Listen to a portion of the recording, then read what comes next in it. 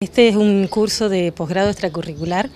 que está, tiene como título Uso responsable de productos químicos y biológicos y sus aplicaciones tecnológicas. Es un curso que se, ha dictado, se está dictando por segunda vez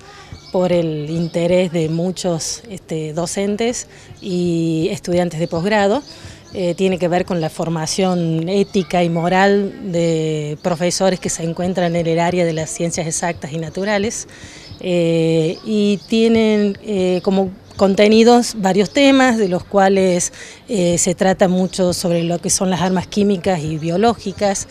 también están, dan información sobre organizaciones mundiales y nacionales que se encargan del control de armas químicas, ya sea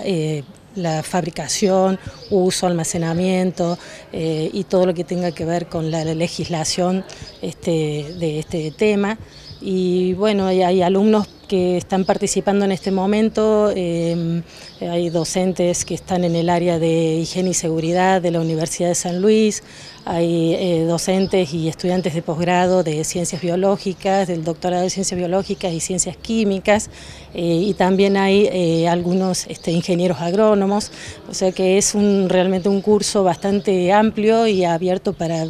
muchos profesionales que trabajen en el tema.